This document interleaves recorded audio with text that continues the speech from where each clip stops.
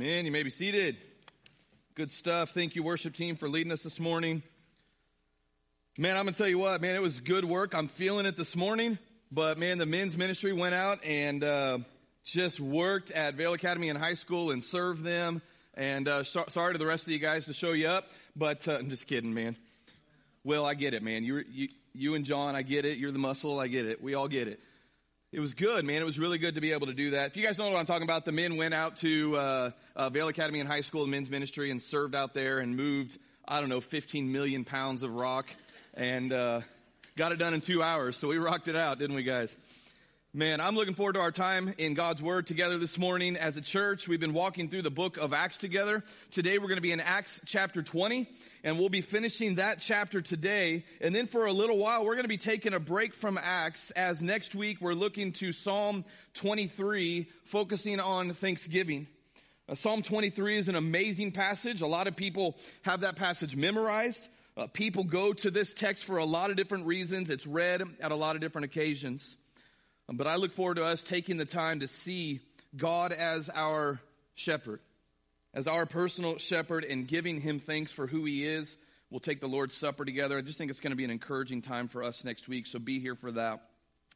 And then after that, we'll be in our Christmas, our Advent, Advent, Advent season. Words are hard again, right? And we're going to be celebrating Jesus, church. We're going to be celebrating His birth and the reason why He came. And so this is a great season to invite others that are in your life who don't have a church home to come and hear of a God of, of Jesus who loves them and came for them. This morning, we are going to be in Acts chapter 20, beginning in verse 13. So go ahead and open your Bibles with me. We're going to dive into that and here in just a little bit. If you need a Bible, we've got some on the back table. Those are our gift to you. Our passage today is, is really important, especially when we think about the local church, but also just in the life of Christians. We're going to see Paul uh, give a farewell speech to specific church leaders in that, that are in, from Ephesus. And he's going to uh, leave them and leave us with an important example to follow when it comes to faithful and godly leadership. Normally we would stand and read the whole text together, but because of the length of it and how it's written, we're just going to read through it as we go. But before we do, let's seek God in prayer. God, we are about to open your perfect word. We pray, Lord, that you would teach us today. We pray, God, that we would have ears that aren't just hearing, but sends it to our heart to respond. God, we pray, Lord, today that you would be completely in charge. We pray, Lord, for those in our church that are leading, those that are uh, leading ministries. We pray, Lord, for um, those that are leading in their homes or maybe just even in a small group, a discipling where one is pouring into another. God, we are all in positions of leadership in one way or another, of influence. God, we pray, Lord, today that we would hear from you. We would see the example and the teaching from Paul that you have in your word for us this morning. God, we pray, Lord, you be glorified in how we hear and respond today. In Jesus' name, amen. Leading up to our text today, Paul has been out on his third missionary journey. He and his team have been sharing the gospel. People have been coming to know Jesus. Churches have been planted. And Paul spends a lot of his time encouraging these new Christians and these new uh, churches. It was important to Paul to see these Christians grow in their walk with Jesus. And while Paul was traveling, he would go to some cities and he and his team were only able to be there for a short time. Maybe that's all they planned for. Maybe they got ran out of the city. But then in other cities, he was able to be there longer. And when we think about the city of Ephesus, there was a city that Paul and his team was able to spend a lot of time there. Uh, last week, Paul was in a city called uh, Troas. I think we've got a map up here. I want you guys to be able to see this. Where'd Troas go? You see right in the middle, there's Asia. The top left hand corner is Troas. This is his third missionary journey that he did on foot or by boat. Right? Sometimes we have a hard time walking across the street to share Jesus with someone. Church, okay? So, so he's gone to Ephesus. You see that in Asia. Uh, and then he goes up and he comes around and he's in, he's in Troas. He had been in Troas. And so, um, Paul is making his way a few stops along the way to Jerusalem. Where'd it go? It just disappeared. I can't use that map. There we go. So uh, he's going to be heading down to Jerusalem, which is in the, the far right corner here. So I want us to read these first three verses, uh, Acts chapter 20, verse 13. And Luke is the author of Acts, and he is on this journey with Paul, and here's what he writes. It said, We went on ahead to the ship and sailed for Assos, where we were going to take Paul on board. So they're going to pick him up there because these were his instructions, since he himself was going by land. When, when he met us at Assos, we took him on board and went on to Mytilene. Sailing from there, the next day we arrived, uh, we arrived off Chios. The following day, we crossed over to Samos, and the day after, we came to Miletus. And Paul had decided to set sail past Ephesus to avoid spending time in the province of Asia because he was hurrying to be in Jerusalem, if possible, for the day of Pentecost. So basically, what we have here is a summary of Paul's travels, right? These maps are really helpful. And he's traveling, he's eventually going to get to Jerusalem. But notice in verse 15, that they're now in Miletus. And that's important as we come to our verse 17 today. It says, Now from Miletus he sent to Ephesus and summoned the elders there. Paul was not able, just for time, wasn't able to go in Ephesus, but he, he loved them. And so My, uh, Miletus was really close to Ephesus. Can we see that next screen? So if you see where to go, right over here on the left side, the middle left side, you see Miletus, and then right above it is Ephesus. So he sends people up there to go and grab the elders and then to bring them down to where he's at. He wants to meet with the elders there. And this is where we begin to see Paul uh, give them, give these elders a farewell speech and leave them with an example to follow when it comes to Christian leadership.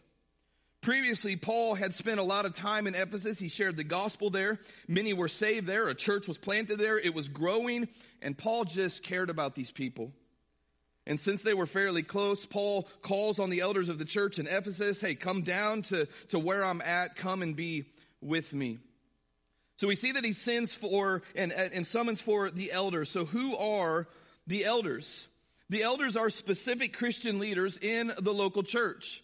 In the New Testament, we see the word elder or bishop or overseer used interchangeably. Uh, Paul is calling these pastoral leaders, that's who they are, the elders, the overseers, to come and meet with him. So the elders, when we think about elders, elders are men called by God in the local church to teach and lead and shepherd and really pastor those in the church body. If you look ahead to 1 Timothy chapter 3 and also in Titus chapter 1, you see the biblical qualifications for an overseer, for a pastor. We see other passages in the New Testament like 1 Peter chapter 5 where Peter is writing to other elders, other shepherds and pastors, and he says to them, shepherd God's flock, overseeing them, not out of compulsion, but willingly. Multiple places in the New Testament where Paul or others are encouraging pastors and elders to lead in the right way, in a God honoring, Christ honoring way. But that's who Paul sends for. He's wanting to meet with these overseers, these pastors and elders one more time before he's no longer in the area. He wants to encourage them. He wants to give them an example to follow when it comes to their particular role in pastoring or shepherding in, in the church as they lead. And so what we see here, the words and examples that we see from Paul that he's given, they're specifically given to the elders, right? We want to see pastors, bishops, elders, right? We want to see them pursue these things. Right? I want to pursue these things that Paul lays out here. But what we see here from Paul can be pursued and lived out by any Christian leader right? Even when we look to 1 Timothy chapter 3 and you see the qualifications, why wouldn't anybody want to pursue that? Are you with me, church? Like that life to, to live in a certain way. It's a great passage. I think this passage right here is a great passage for those who are ministry leaders in our church. It's a great passage for anyone who's leading in their home or in any kind of Christian context. It's a text that can really be applied to any type of Christian leadership. And so Paul gathers these church elders and basically gives them his farewell speech because he tells them later that he won't see them again. You ever have that conversation with someone? I remember having really the last conversation with my grandpa. My, my, my grandpa died about 2000 and 2000. He died in 2000, right? And uh, 2001. And uh, I remember sitting with him and basically having our farewell conversation right? Those are important conversations. I remember in the church I grew up in Antioch Bible Baptist Church, it was planted, it was founded by Pastor Joe Krieger. And I remember, I was young, but I remember the last service, his last sermon, where he's basically preaching his farewell sermon. What we didn't know at the time is his body was just full of cancer and he wouldn't be alive about three or four weeks later. But what he did in his farewell message was he was encouraging the new lead pastor and he was encouraging the church and he was challenging all of us to stay focused on Jesus and the gospel and the word of God. Farewell speeches and conversations are important. And today, as we walk through Paul's farewell to those in Ephesus, we're going to see about 10 marks of a faithful leader, or really of any Christian leader. We want to be able to look at these things and say, I'm going to pursue these things as I lead. So, beginning in verse 18, we see the first example that Paul leaves us when it comes to being a godly and faithful leader. Here's what it says Paul says, You yourselves know from the first day that I set foot in Asia, how I was with you the whole time. So Paul calls these elders and he says, You all know, you've seen the example that I left when I was with you. I was with you the whole time. Paul's pointing back to a time that he was with them in Ephesus, and he's saying, From the time I got there until God clearly called me to the next city, I was with you. We've been talking about a lot, a lot about that at church recently, right? We were meant to do life together, to be with each other. Paul's saying, as your leader, I was with you. He's saying, I did life with you. I prayed with you. I cried with you. I did ministry with you. I went to baseball games with you, right? I lived among you. Here's what Paul is saying to them in the example he's giving to be a faithful and godly leader. If you're leading in any aspect, you are to be with and identify with those you are leading be with and identify with those you are leading. Right? For, for pastors or ministry leaders, it's not that you're just supposed to be on the platform and then disappear. No, you're to do life with them. Paul, when he was there leading and teaching and ministering to them, he was with them. He identified with them. I love what one commentator said as I was studying this. He says about this particular verse, he said, Paul is showing us that a shepherd, and that's what these men are, right? That a shepherd is to smell like the sheep he's leading because he's with the sheep. You can't smell like them if you're not with them, right? We're to be with people we lead, right? Share meals with them, serve with them, do ministry with them, pray together with them. Paul is telling these leaders, for these elders, you're to be involved in the lives of those you're shepherding, right? Don't get up on a high platform and then never be with the people, right? Be with them. For Christian leaders, to be a faithful and godly leader, be with those you are leading. Be able to identify with them. That's a great word for all pastors, for all Christian leaders. I even think it's a, it's a great word for parents in the home as you lead in your home.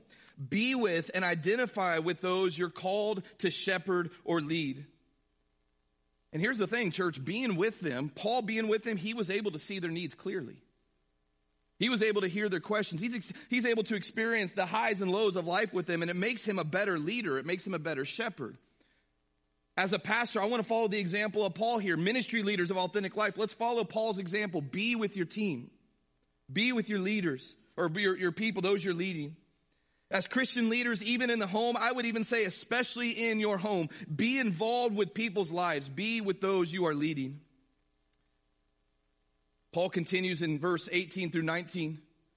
He says, You know from the first day I set foot in Asia how I was with you the whole time. He says, serving the Lord. I was serving the Lord with all humility, with tears, and during the trials that came to me through the plots of the Jews. So Paul is pointing them back to the example that he left them as a leader. He says, While I was with you, I was serving the Lord. Church, I think that's an important place to just pause and think about for a second. Paul is making it clear. He was there to share the gospel with unbelievers. He was there to teach them and encourage them and to pray with them and serve with them and minister with them. He ultimately did everything. Every time he invited someone to trust in Jesus, every time he preached, every time he served, he says that I did it while I was serving the Lord. When you guys came in here today, many have already served this morning. Justin, you're drinking coffee because someone served this morning. Right? You got bulletins in your hand because someone greeted you this morning. We've got Kids Life, all these amazing kids that were just up here. People are serving this morning. When we come here and we serve, please know that when we serve one another and we serve our guests, our ultimate aim is to serve the Lord. That's it, church. Right? And so Paul says, I am here with you and I served you, but my main goal was to faithfully serve the Lord. And he tells them first that he served the Lord. These are great principles here. I served the Lord with all humility. Humility is, I, I, I like to think about as his posture before God. It wasn't about, Paul wasn't leading and shepherding because of what he could get out of it, because of the perks. It wasn't about Paul being in the spotlight, it was to put Jesus in the spotlight. He came ready to deny himself and to glorify God. That's how we lead church. And so he came and he led and he served the Lord humbly. And then Paul says, I served the Lord with tears. I think this church, I think this speaks of Paul's compassion right? He loved others. He cared for others. He often hurt for others. I would guess that Paul shed a few tears when people rejected Jesus. But he kept doing it because he was serving the Lord. He may have cried when he saw Christians make bad decisions or struggling, but he kept doing it because he was serving the Lord. I bet Paul shed tears when he had to leave those that he had been leading and serving because he loved them and cared for them. I see Paul following Jesus' example of having compassion for those he's sharing the gospel with and serving. And then he says that he served the Lord during trials that came through the plots of the Jews. Church, we've looked a lot at Paul's trials. And if we're really honest, one of those would have caused us to say, man, I think I might bow out. Right? I'm not saying we would have. We, would have been tempted to. I, but he says, I, I served during those trials. I served the Lord. Paul is saying, I was with you to serve the Lord, and I served with humility, with tears, and then I think with courage, church. Paul faced rejection from the people that he loved everywhere he went. They gossiped about him. They spread lies about him. They flat out rejected him in the message of Jesus. They persecuted him. They tried to kill him. They left him for dead after stoning him, but the Lord gave him courage to keep going through the trials. I remember the famous verse in Joshua chapter 1, I think it's verse 9, where God is telling Joshua, Be strong and courageous. Be strong and courageous in what I've called you to do, Joshua. Paul's living this out. Be strong and courageous no matter what trials you face. Be strong and courageous because I'm with you. And so for elders, Paul's example is to serve the Lord. As you lead, man, we are not to be self-serving.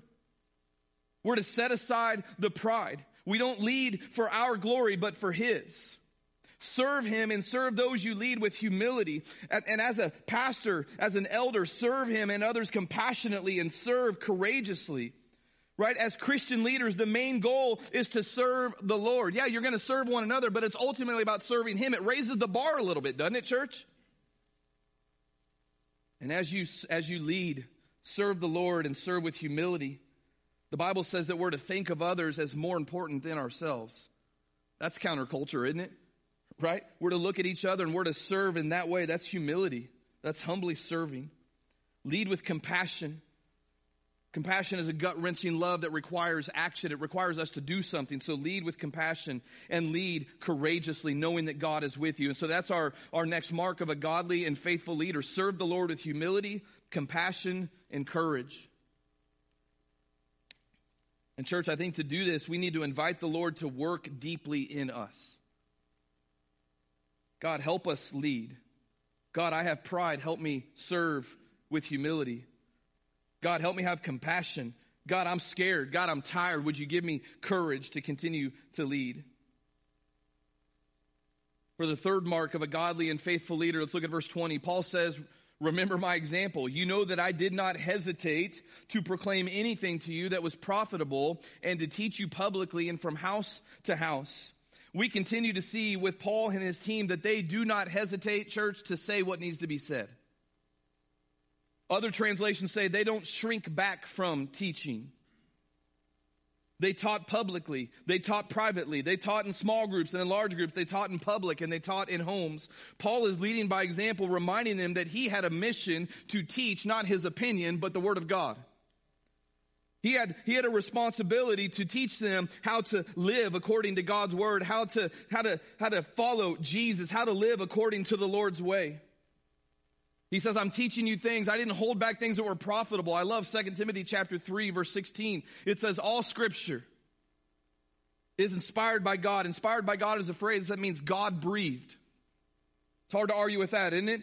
Right? All scripture is inspired by God. Let me, let me take a time out here real quick everything you see in here, whether you like it or not, is the Word of God. Whether I like it or not is the Word of God. Whether it's culturally acceptable or not is the Word of God, which makes it true and right and profitable. It's profitable. It's good for us, for teaching, for reproof, for correction, Right? We need that, right? For training in righteousness. Paul is saying, pastors, elders, Christian leaders, don't hold back, don't shy away from teaching what is profitable and good. Church, God's word is profitable. It is good for us, and it's good for us to do that. And so as you lead, teach it. Pastors, elders, Christian leaders, moms and dads, to be faithful and godly, boldly teach God's word. Moms and dads, grandmas and grandpas, do that in the home. Teach God's word. Don't hold back. Don't let your opinions dictate what you say or teach. Don't let culture or political correctness dictate what you teach, but boldly teach the truth of God's word. Why? Because it's profitable. It's good. It's true. And it always will be. I'm going to be honest with you. You turn on the news one day and they share a definition of something, the next day it's different. Right? We're smarter than that, church, right? The Word of God has never been proven to not be true. It is 100% true. It is God breathed.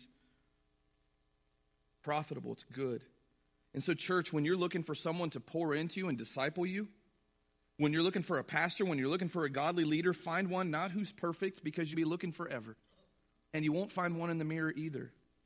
Amen, church? Right? But look for a leader who's faithful to boldly teach God's word. Notice what Paul says next in verse 21. He says, I testified to both Jews and Greeks about repentance towards God and faith in our Lord Jesus. Paul is saying, I gave witness. I told the truth. I testified about Jesus and his gospel. He's saying, I didn't just go to one group of people. I went to all groups of people. I called you to turn from your sin, to repent, and to turn to God. I called you to place your faith in Jesus, right? And so as we lead, as we teach, godly and faithful elders and leaders and, and, and parents, right, are to preach Jesus. To preach means to proclaim, it means to testify, to give witness. And so it could be right here from the pulpit. I promise you, I'm going to teach Jesus. Right? Our life group leaders, we're going to preach Jesus. In our life, in our, in our kids' life, wherever we, our youth group, we want to preach Jesus. We should be teaching and preaching Jesus in our homes. Find a way to talk about Jesus in your neighborhood, in your parks, at your workplace. This is a call to share Jesus everywhere. Paul's example is this faithful leaders, faithful pastors boldly teach God's word and boldly proclaim Jesus and the gospel. Here's what Paul's doing as a leader Paul knew personally that he had been made new, he had been forgiven, he had been saved and adopted into families God, uh, into God's family, and his example is to us is to tell others and bring others to heaven with you. A priority of a Christian leader and of a faithful pastor will always be to teach God's word and to show God's way and to teach how to obey and apply God's word and share the gospel of Jesus. So, for the first five verses, Paul is reminding them of the example that he set for them. And then he begins to tell them what's next for him, but he's still teaching and being an example. Verse 22 it said, And now I, I am on my way to Jerusalem I'm compelled by the Holy Spirit, not knowing what I will encounter there, except that in every town the Holy Spirit warns me that chains and afflictions are awaiting me. One of the things we must be aware of is Christ followers. This isn't just leaders, this is all of us, right? Every single one of us. We need to be aware of who or what is leading us. You can say, man, I'm my own man, I'm my own woman. No, someone is influencing you. You're being filled by something or someone right? So who or what is filling and influencing you? Paul says in Ephesians chapter 5 verse 18, he says, and don't get drunk with wine, which leads to reckless living, but be filled by what? Church, by the Spirit. Paul is saying that as Christians, we're not to be filled with and led by wine or by other worldly things, church. Here's the thing. When you're full of wine, you are led and influenced by wine. When you are filled with anger, you are led and influenced by anger. When you are full of lust, church, you are led and influenced by lust. We could keep going, right? Paul is saying, don't be filled and influenced by wine or any other worldly thing, but be filled by the Holy Spirit of God. In other words, let God fill you up and lead you. Let God fill you up and, and lead you. And in our text, Paul is telling them, on my, I'm on my way to, to, to Jerusalem, and I'm compelled by the Spirit. It's a great word, compelled. Your translation might say you're bound by the Spirit. Here's what that word means in the Greek it means to be bound to. It means to be fastened to or to tied, to be tied to something. And that's what Paul is saying. He said, I am tied to, I am connected to, I am filled by the Holy Spirit, which means wherever he leads, I am going. I can't go any other place because I'm connected to him, right? To be compelled, to be bound by, and to be tied to the Holy Spirit means that we go where he leads. Pastors, elders, ministry leaders, Christian leaders, dads, moms, grandmas, and grandpas, for us to be faithful and godly, we're to be led by the Spirit of God. Take time, right? Spend time in the Word of God. How are you going to be filled with the Holy Spirit if you're not spending time with God? Uh, easy answer. You can't. Right? Spend time in the Word. Be filled up by the Word. Spend time in prayer. Let God just, just pour into you. Be with the church body. Spend time with the Lord, worship Him. And when we do that, God is pouring into us. He is filling us up, and then His life begins to flow out of ours. We're being led by the Spirit, church. There's a, a, song with these lyrics back when I was a worship pastor, let you know how old I am, Justin. Like, where you go, I'll go. Where you stay, I'll stay. When you move, I mo- I'll move. I will follow you. That's what Paul's saying. I am bound, I am compelled by the Holy Spirit. Where He goes, stays, moves, or leaves, that's what I'm doing.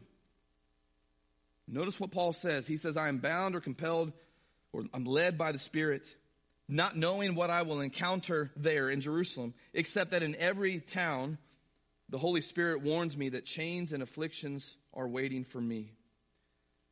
Here's a good word, church. Paul is trusting the Holy Spirit. He doesn't know everything he's going to encounter. If you've met my wife, it's a good thing, you're okay. Two weeks in a row, I'm using her as an example. She's a planner. She wants to know, like we go on a trip, she wants to know where we're going to go, what time we're leaving, what time we're going to the bathroom, when we're going to stop to get drinks or Snickers or whatever it is. Like she wants to know everything about everything. Anybody else in here like that? Okay, I was to say, don't leave my wife hanging, okay? Because I'm not like that, right? Like, hey, let's just go, baby, right? Let's just go. Paul has no clue what he's going to encounter. He doesn't know yet the joys and the difficulties that he faced, but you know what he does is he trusts the Lord. And he's faithful to the mission Jesus has sent him on. It's been said of Paul, while others go to a new town or city, they walk around and check out the local restaurants and hotels and sceneries and events so that they know where to go. Paul goes to the local synagogue so he knows where to preach, and he checks out the local prison because that's where he's going to sleep. Right? He knows.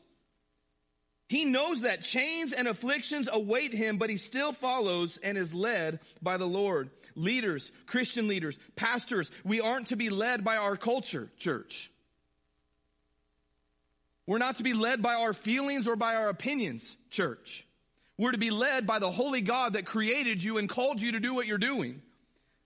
Because God, right, when we're led by God, we can, we can take others there with them, right? We're leading to point people to Jesus, not to ourselves, right? If we're not following people, if we're not following God, we can't lead people to him. Paul says in Ephesians 5, he said, imitate me as I also imitate Christ. Jax is sitting over here like, this dude wants to be a lot like me. I haven't quite figured out why, but like he does a lot of the stuff that I do. But you know what? I better be living like Jesus so that he's imitating Christ when he imitates me. Moms and dads, are you hearing me? Leaders, Paul says, imitate me as I also imitate Christ. And then in verse 24, Paul keeps going. He said, But I consider my life of no value to myself. My purpose is to finish my course in the ministry I received from the Lord Jesus to testify to the gospel of God's grace. Paul is showing them as elders, as pastors, Christian leaders, be led by the Spirit. And now, as you shepherd or lead God's people, as you faithfully lead, you are to faithfully follow and live for Jesus. Faithfully follow Jesus, church. Faithfully live for Jesus. Author Tony Merida says the goal of life is not to have a long life, but a full life, one lived to the glory of Christ Jesus. In this verse, Paul says, I consider myself of no value to myself. I consider my life of no value to myself, but that his purpose is to finish the course and the ministry that he received from Jesus. Church, Paul is not saying that his life has no value. That's not what he's saying. Paul knows that he's fully loved and created and valued by his creator and savior. He's saying that his ministry, that his life are God's gift to him, and that God has a purpose for him. You know what Paul's saying? I'm determined to live that out. He makes a great statement in Philippians chapter 1 verse 20, 21. He says this, keep in mind when Paul is writing Philippians he's in prison. And he says for me to live is Christ and to die is gain. We preach on that verse for like a month. To live is Christ. To die is gain. He wants to be in the presence of Jesus. He wants to be in heaven with Jesus. But for him to live is all about Jesus Christ. It's not about how much money he makes. It's not about the next level of job that he gets. It's living for Jesus and what God has called him to do. He wants to be with Jesus, but while he's living, he's living for Jesus. And so he says that he is living for Jesus and to live out that ministry that Jesus called him to. And he shows us how in verse 25. He said, And now I know that none of you among who I went about preaching the kingdom will ever see me again. Therefore, I declare to you this day that I am innocent of the blood of all of you, because I did not avoid declaring to you the whole plan of God. He's saying, I did what God called me to do. Right? I have a clear conscience. I did what Jesus sent me out to do. I declared to you not just what I wanted, not what I thought you wanted or what you needed. I declared to you the whole plan of God. Right? We have a warning in 2 Timothy chapter 3 and 4 of, man, we don't just we don't just preach and teach things that are going to tickle people's ears. There's no life transformation in that. You're just affirming the sin people want to do or whatever it is, man. He, he didn't hold back. He declared the whole plan of God. Jesus sent him out to point them to Jesus and to call others to repentance and show them how to grow in their walk with Jesus. Paul is saying, I did all of that. Right? Faithfully following Jesus and his purpose for me. Basically saying, man, if you rejected that, that's on you. I did what God called me to do. Church, Paul wasn't perfect, but he was faithful. That's a godly leader. He was faithful to do what Jesus called him to do. He trusted the Lord. He followed. He lived his life for, the, for Jesus. Leaders, when it, when it comes to our lives, they're not, even, they're not even to be lived for us, they're to be lived for Christ. Faithfully following him. Again, leaders, live like Paul said imitate me as I also imitate Christ. Because when people saw Paul's life and the example he was leaving them, it pointed others to Jesus. When others see you, when others see me, they should see that we aim to follow Jesus over any other thing. When others see your life and others see your leadership, your parenting, whatever it may be, do they see Him? Is your life, is my life, pointing others to Jesus? Paul's purpose and our purpose as Christ followers, as Christian leaders, as a pastor, our purpose is to give our full yes to Jesus. Not a partial yes. Not one foot in yes and the other foot in no. Like it's to give our full yes to Jesus. Be led by the Spirit, faithfully following Jesus as we look at pastors, as we look at ministry leaders, as we look at Christian leaders, at, at kids, as you look at your mom and dad, man, leaders aren't going to be perfect. Leaders are going to let you down. But is their aim, is their purpose to be led by the Spirit of God? Is their purpose to live for Jesus? That's what it looks like to be a faithful and godly leader. Right, so Paul has given us examples to see and follow. And then as we come to verse 28, he gives instructions to hear and follow. He says to these elders, he said, Be on guard for yourselves for all the flock and for all the flock of which the Holy Spirit has appointed you as overseers to shepherd the church of God, which he purchased with his own blood.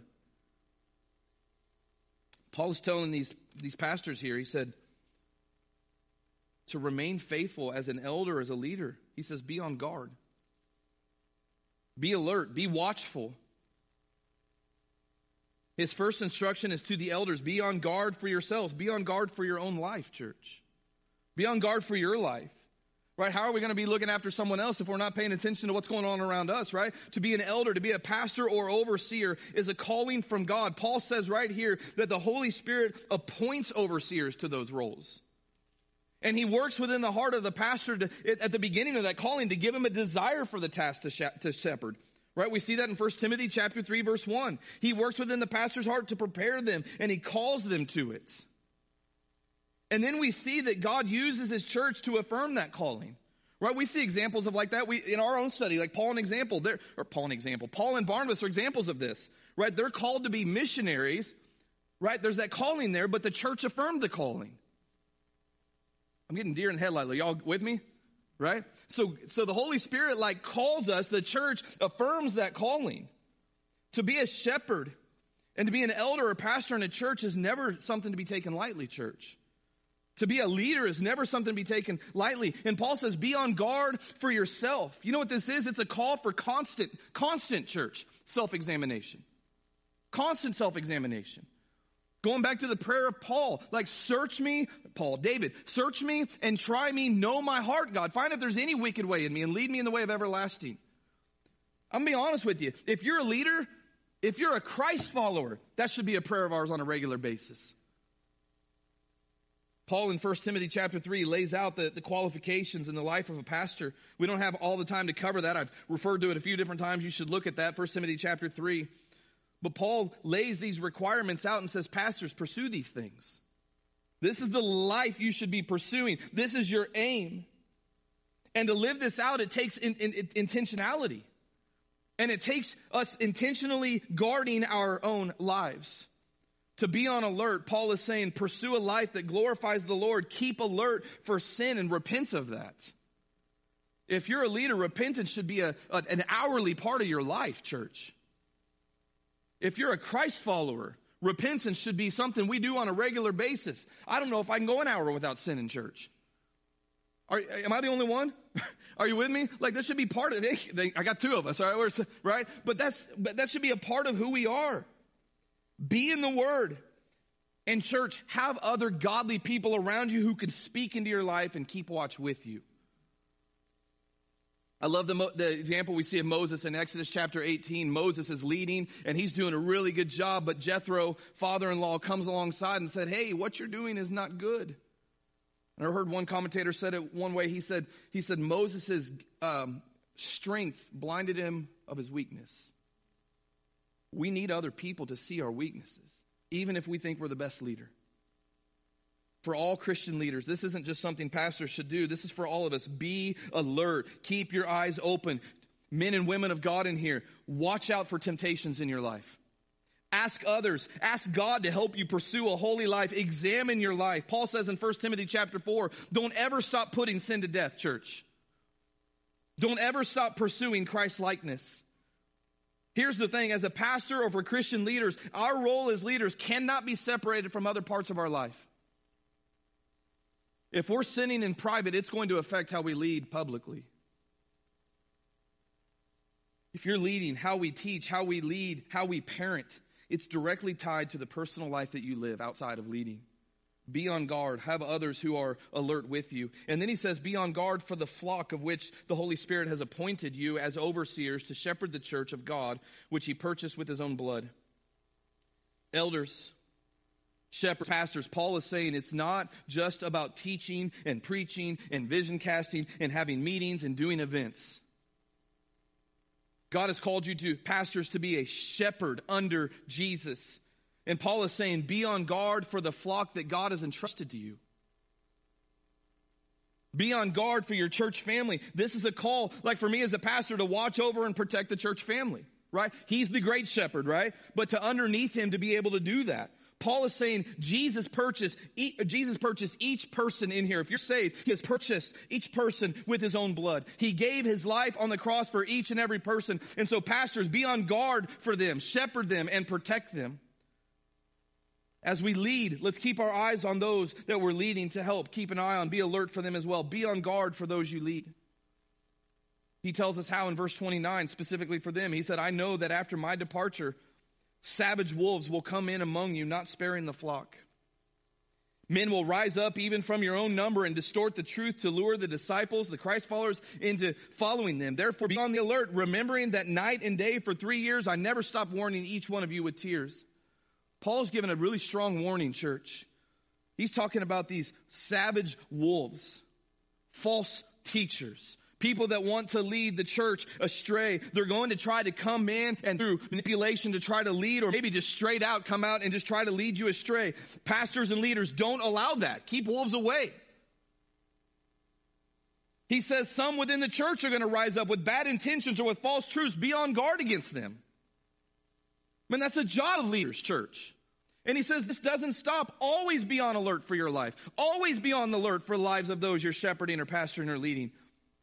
This can be applied to all of us. If you're leading in any area, be on guard for your own life. Be on guard for those you're leading. Mom and dad, be on guard for your own life. And be on guard for your children. Ministry leaders, be on guard for your own life and for those that are in your ministry.